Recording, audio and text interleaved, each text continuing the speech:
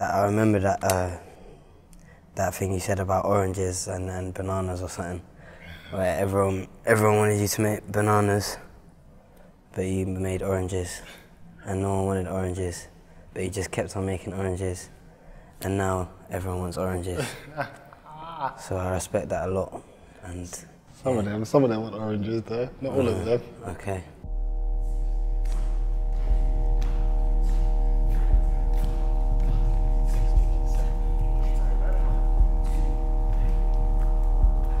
Because there is like a 10 year gap between Far From the Norm artists and the NYDC artists, we learn something new from each other. We might see something that might not even potentially be part of the movement, but because the person's got a different understanding of movement, that can then be something that sparks off a new idea. We don't want it to be a thing whereby it's just us teaching the NYDC dancers. We said from the beginning that it was more of an exchange. So I think the exchange is what's inspiring. We, we, we're quite intense as a company with our movement. We use a lot of hip hop uh, movement. We're quite intense and we push quite a lot. But then for us as a company, we've had to learn that because we're working with the dancers, we need to know when to push and when not to push. Because if we push too hard, because we've got this different age range, who maybe haven't experienced this high intensity kind of movement, we don't want to break their bodies. So it's kind of knowing the right time. So, it, but we're trying to make it as as real as it can be to what a real life experience would be working with a professional company.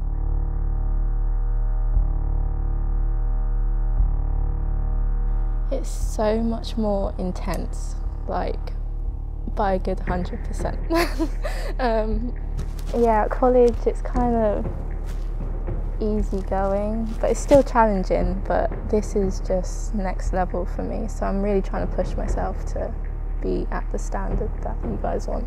That's good. Yeah. I've never like formally trained like breaking or any more hip hop or like the more urban styles. It's a lot of like new experiences, I guess.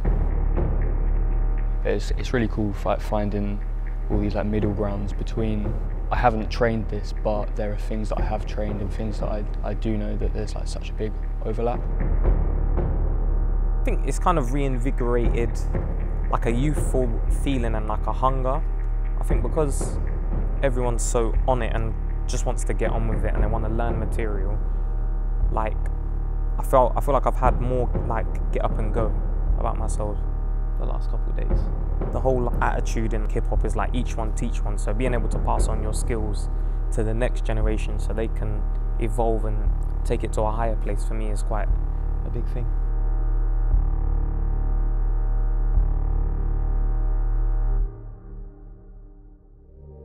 I like to dance because it makes me feel good. That's right. And it's about kind of coming out of your normal life being able to go into like a completely different little like kind of your own little world and it's just being able to like move and like flow through that movement and not have to think about anything else but what you're doing. And it's kind of like an out of body experience.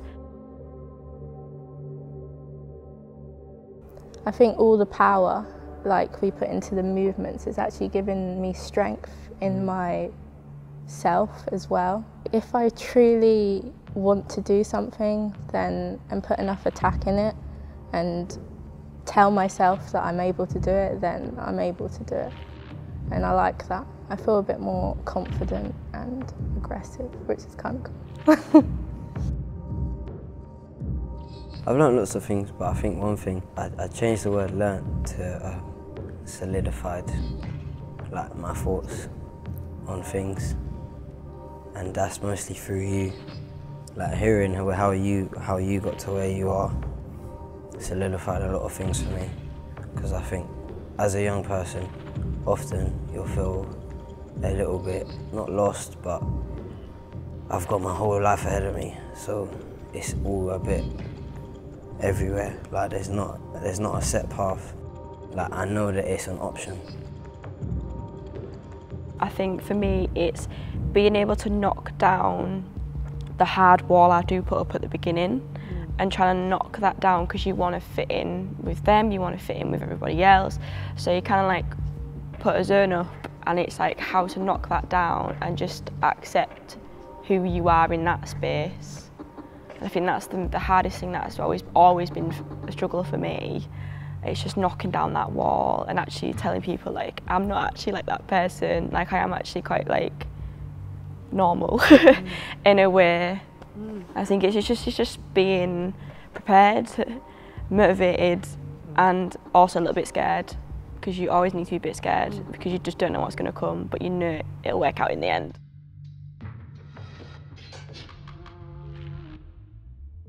Like what empowers you in NYDC? Um, I think the like looking at, at you guys is very empowering, from a kind of empowering and it, it's inspiring because it's like looking, it's looking at the kind the kind of place that I'd like to be in the future. I think when I first thought about NYDC, it took me back to like, okay, when I was, what was, what, was I doing when I was 16? And I think something that I realized was the adults for me at the time didn't really care about young people. I don't know if it's the same today, but I just felt like there was no, the respect wasn't really there. So I felt like I had to kind of bring that communication back to the young people to understand that um, even just looking at them in the eyes, like I felt like when I was young, I didn't get that kind of, from teachers as well. There's a very, there's big much of a hierarchy and I felt like bringing it to NYDC, you know, showing them, guys, look, I'm like this as well. So they're, they're more fun. There's, there's, there's kind of a bit more fun with them, so they understand that we are, well, disciplined with serious human beings, but we can still have like a, a, a and a funnier side to us, a more human side to us. I think what I'm learning is, um, I think the hunger. I think something about the hunger gets lost as we get older as professional dancers. I feel like I watch it from the young dancers. It's like they just want to like push, want to do everything. Yeah, I can do this, and it's that for me is humbling because it makes me feel like I have to work. I have to work extra harder now because it's like they're just they give me a lot. So I'm just like, okay, how much, you know, how much do you give?